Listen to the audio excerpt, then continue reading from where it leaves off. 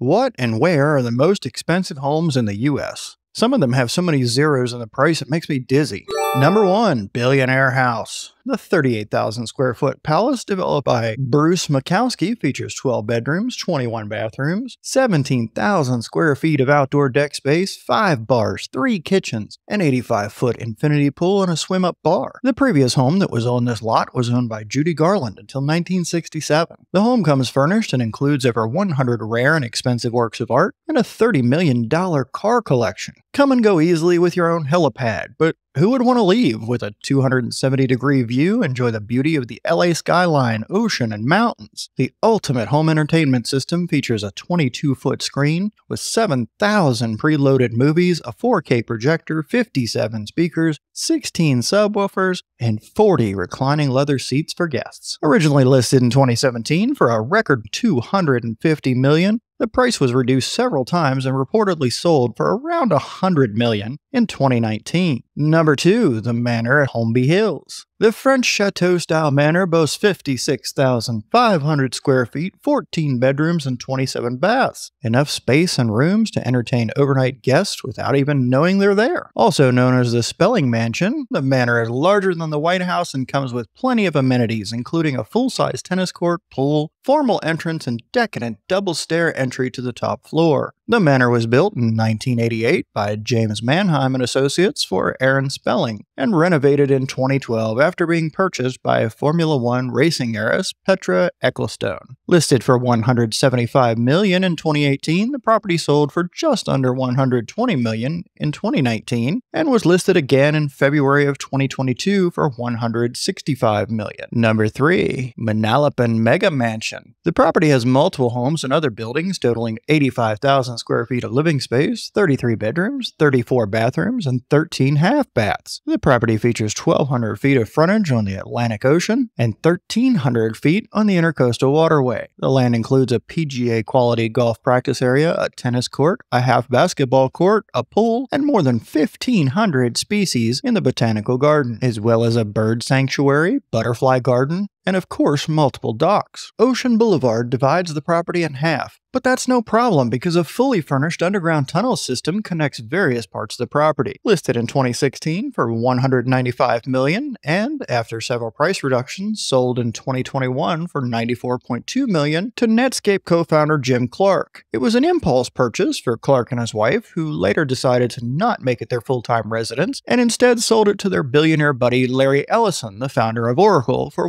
173 million in June of 2022. Number 4, Great Island. This 63 acre estate offers natural surroundings with wildlife at your back door. Yet you're just an hour's drive from Manhattan, but a world away on the largest private island estate on the East Coast. Great Island has been in the same family since 1905 when it was purchased by industrialist and baking powder magnate William Ziegler. The main house is a stone facade with 9 bedrooms and 10 baths, but there are many other homes and structures on the property, including the original 1850s home, a gatehouse, a caretaker's house, and a granite 18 stall stable. The property also features a gated drive, myriads of flora and fauna, a boathouse, beach, cottages, and an extensive, well sheltered harbor with a private deepwater dock suitable for yachts up to 100 feet. The estate first went on the market in 2016 for 175 million. The asking price was reduced twice, and in early 2022, the family that owns the property accepted a $103 million offer made by the town of Darien, which plans to make Great Island available to the community. Number 5. Briar Patch. This waterfront estate sits on 11.2 acres and hit the market in November of 2014 at an asking price of 140 million. It features five structures with a total of nearly 14,000 square feet of living space and over 1,000 feet of water frontage. In addition to the 10,000 square foot main residence built in 1931, Briar Patch includes a four bedroom guest house, a pool cabana, and tennis court, among other amenities. This estate is on the National Register of Historic Places and has had just three owners in its near century long existence. The asking price was dropped to 95 million in 2021, but was forced to be sold at auction in 2022 due to the indebtedness of the owner. Number 6. Il Palmetto. Originally built in the 1930s, this Italian Renaissance style home boasts over 40,000 square feet of living space with waterfront on two sides. The estate features 10 bedrooms, 14 baths, and a private tunnel to the beachside pool house. A dramatic two story entrance hall leads to gorgeous pavilion style rooms with 16th century carved ceilings in the dining room and shield ceilings in the living room. The Infinity Edge swimming pool is timed to match the hue of the Atlantic Ocean. Beach access is protected by a seawall with stairs. On the property's other coast, you'll find the boathouse with two motorized boat launches. Il Palmetto went on the market in 2018 for 137 million. The owner, Jim Clark, sold the estate to Catherine and Leo Vecellio the same year, but the actual sale price is unclear because it was part of a complex transaction that may have included the exchange of another property. Number 7. Rancho San Carlos. This colonial manor, designed by Reginald Johnson, was built in 1931 and remained in the same family for nearly a century.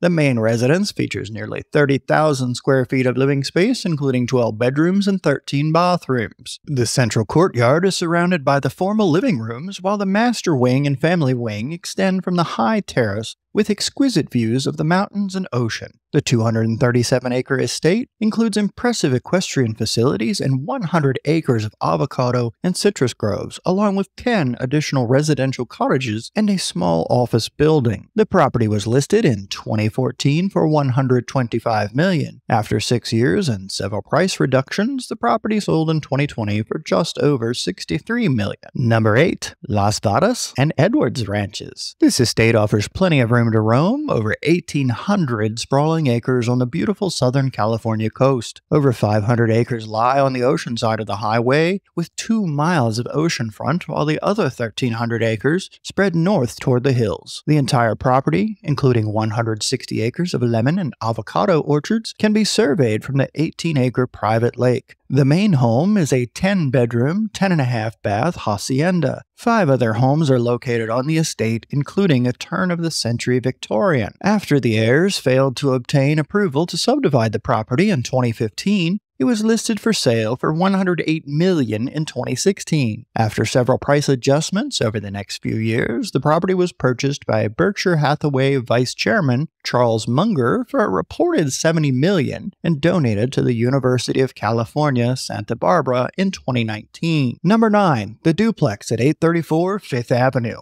This lavish lair is comprised of the 7th and 8th floors in the highly sought after co op building at 834 5th Avenue, which has been home to celebrities and business titans going back to the early 1930s when it was built. There's over 12,000 square feet of living space, making it the largest of the 24 apartments in the building.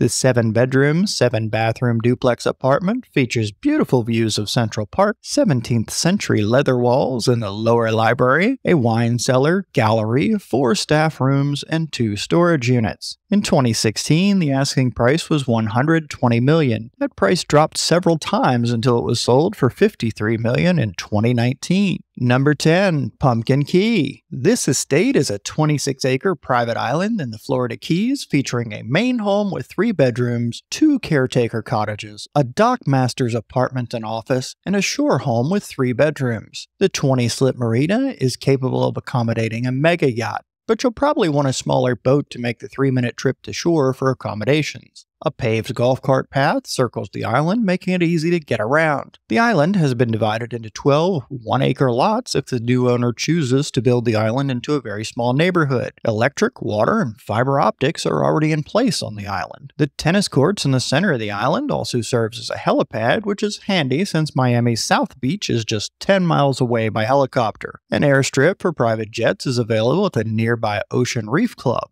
At just 95 million, this private island paradise is a bargain. I'm sure you'll want to stop watching now because you plan to call the listing agent right away and buy this property. Before you do that, please consider tapping the subscribe button so you're sure to see more videos of interesting people, places, and things. Don't worry, all of these homes have internet access, so you'll be able to see our videos from any one of them.